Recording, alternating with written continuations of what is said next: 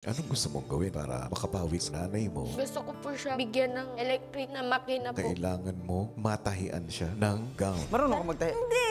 Higa muna natin yung Wag! Putol talaga siya. Paano ba to? Pagkang susuko siya, Hindi mo lang to pangarap, pangarap mo rin to para sa nanay. Tatayin ko ang landas. parang binabaliwala ko lang yung pagod at saka hirap mo. Ma, sorry. Ma. Pinoy Big Brother 8 Gold